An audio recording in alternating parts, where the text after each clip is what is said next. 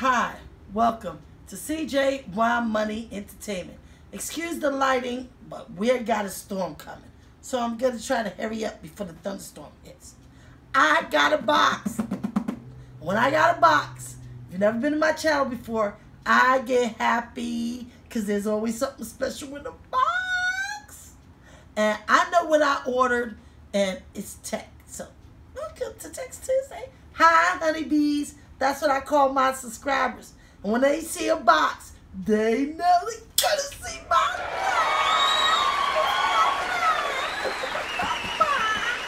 So let's get to it.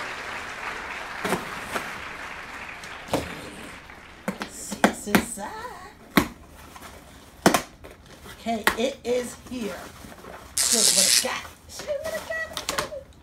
Bye-bye now. We don't- Okay, this is an HDMI. And if you don't know what an HDMI is, it's high definition media multi interface. That's what it stands for. And what these are good for is to hook to your TV that doesn't have enough HDMI ports. And even though you may have a 4K TV, some of them only has one HDMI port or two. And it's not enough you want to hook up your DVD, your PlayStation 4, maybe your Xbox One or 360. So they sell these things. In here, this one has a remote, has the HDMI box, has a charger, it has its paperwork. Now let's go over it really quickly. It's supposed to be able to control the HDMI without going to the box and constantly hitting on the box on which one. This is a four put. They come all the way up until eight put. Many different brands.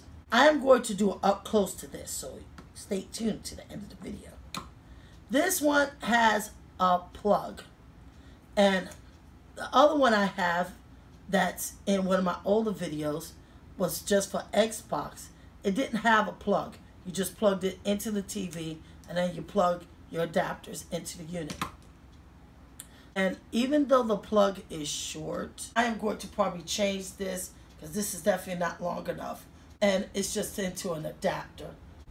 Um, if you've never been to my channel before, I don't do anything without reading the instructions. So I'm going to read the instructions and then I'm going to show you up close on how this uh, HDMI is. Now this HDMI is a little different because it does 2.0 and it switches between the four HDR. However, it has HDCP 2.2. And what's happening is PlayStation 4 um, doesn't adapt to all the switchers because they have that HDCP. And that HDCP is a blockage, the block uh, that companies are putting in on TVs and game systems. So you can't duplicate a video or a game and then sell it. So we'll be back up close and personal. Okay, I exchanged this for a longer cord. This is micro and it's getting plugged into the wall. Right here, I changed this. That's my HDMI gets plugged into the TV. These are my inputs. My first input will be Xbox 360. I'm plugging that into here. My next hookup will be PlayStation 4. And I'm plugging, okay, I'm turning on my PlayStation 4. I'm going to my settings. In my settings, I'm going to my system. I'm going down to enable my HDCP. Uh, this way, I'm going to see if this works with the HDP on. So I'm checking that box. Okay. Yes, I'm going to hit that. And let's see. Please wait. Now I should be able to watch movies on YouTube as well as Amazon or any of my apps. So I'm going to go over to this library and go over to my Amazon channel and there it is. So the HDCP is active. I'm able to watch my movies, play my games. Let's check out YouTube. Um, checking out one of my uh, YouTubers, uh, Rosa Beauty Fashion, shout out. Yep. Um, and now I'm going to turn off the PlayStation 4.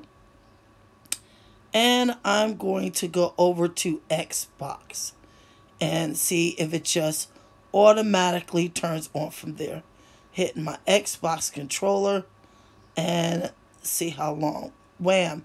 It's there quickly. It just automatically transferred over without me using the remote or getting up and transferring it myself. I will leave a link in the description below if you'd like to purchase this HDMI.